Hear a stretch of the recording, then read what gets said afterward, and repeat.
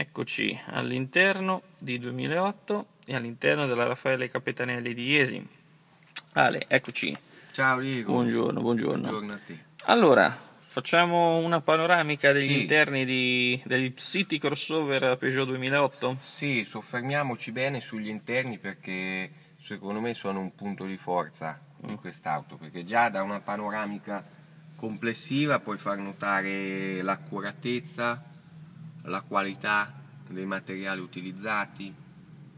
Anche la, la diversità, il mix di, di materiali, perché poi c'è, c'è veramente di tutto, pelle, vedo anche la, eh, diciamo, la, la lavorazione qui Sì, goffrata simil- della, simil carbonio, Eh diciamo. Sì, il carbonio, insomma, della, eh, degli interni con quelli insomma, mescolati a quelli più tradizionali, Sì. le laccature, le cromature, insomma, c'è di tutto C'è di un po' più. di tutto. Sì, sì. Allora, partiamo, siamo in posizione guida, partiamo dal volante. Sì, faccio vedere un attimo come ti posizioni. Allora, il volante, così come avevamo già visto sul 208, riprende le dimensioni, quindi volante di dimensioni ridotte rispetto al normale, grande ge- maneggevolezza, praticità, facilità di guida, ehm, racchiude al suo interno i comandi al volante che riguardano poi il controllo del display, Mhm. questo qui dove troviamo eh, computer di bordo, radio, bluetooth, lettore multimediale,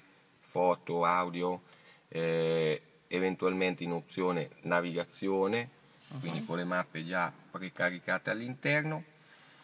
Il volante si può regolare sia in altezza, come sto facendo vedere, che in profondità, Mhm. quindi per trovare diciamo la più ottimale posizione di guida. Al di sopra del volante troviamo il cruscotto. Ok, adesso diamo facciamo vedere che comprende contagiri, contachilometri e poi c'è anche qui un display centrale Mhm. dove possiamo vedere informazioni di guida. Ok, Spostandoci verso l'interno troviamo il touchscreen. Allora questo è un monitor che come dicevo comprende all'interno diverse funzioni, è completamente touchscreen, quindi si può comandare semplicemente Sì, toccando lo tocco con schermo. un dito. Sì. 7 pollici a colori, quindi comunque anche bello esteticamente a vedersi, sicuramente arricchisce da pregio ehm, all'auto. Sotto questa parte troviamo il controllo del clima che su questa versione, che lo possiamo dire è l'Allure, Mhm. quella più accessoriata è automatico bizona col display digitale che indica le temperature. Sotto, se riusciamo a farlo Riesco a vedere, far vedere, sì. abbiamo due ingressi USB, Sì. un ingresso audio jack e una presa 12 volt. Ok. Qua abbiamo la leva del cambio, In questo caso 5 marce. in questo caso a 5 marce, c'è anche la possibilità del 6 marce su altre versioni È robotizzato. e anche eventualmente col cambio robotizzato automatico. Ok. Eh, questa manopolina qui è una delle cose più interessanti perché ehm, l'interfaccia del dispositivo grip control. Ora, che cos'è il grip control? Eh, diciamo che è la funzionalità che può far fare il salto di qualità all'auto, cioè eh, la può trasformare da un'auto che ha l'aspetto di un SUV a, se vogliamo, un SUV vero e proprio. Perché con questo dispositivo ehm, diciamo che è un'evoluzione del normale antipattinamento abbiamo la possibilità di muoverci in modo agevole e sicuro su quasi tutti i tipi di terreno le modalità che comprende sono ovviamente quella normale stradale Fai vedere bene qual è. che sarebbe almeno- questa Sì. poi abbiamo la neve o ghiaccio Ghiaccio. mhm. eh, questo qui che lo chiamano all terrain, cioè tutti i terreni, quindi sterrati, fango, eccetera. La modalità sabbia, Mhm. quindi su anche ovviamente adattata a terreni più- un po' più secchi, un po' più aridi. E poi c'è la funzionalità di disattivazione di tutto quanto quello che è il controllo elettronico. Ok. Ok, in questo modo noi andiamo con la manopolina che è rotativa a dire all'auto su quale terreno ci stiamo muovendo, poi l'auto automaticamente da sola gestisce la trazione sempre e solo sulle due ruote motrici, quindi non abbiamo distribuzione avanti e dietro, non abbiamo i pesi che ne comporta, non abbiamo nessun tipo di impegno meccanico, ma soltanto un dispositivo elettronico che però ci aiuta sensibilmente nella trazione su tutti i tipi di terreno. terreno. Mm. Quindi non diventa un 4x4. No, no, assolutamente no. È un 2x4, È un 2x4 gestito elettronicamente a seconda del tipo di terreno sì, che incontra. Possiamo dire anche che è un 2x4 eh, che va nel 80-90% degli utilizzi medi di una persona dove andrebbe con un 4x4. Esatto, esatto. Mm. Ok, okay. Eh, poi dunque proseguendo eh, troviamo, questo è il freno a mano, è particolare, stile aereo, lo hanno fatto, quindi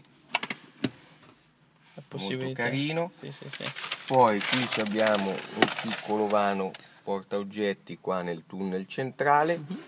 E poi già che ci siamo fai vedere le finiture dei tessuti che sono di serie sempre su questa versione Allor, eh, misto pelle e tessuto, quindi eh, la bellezza della pelle con la praticità del tessuto all'interno. Esatto.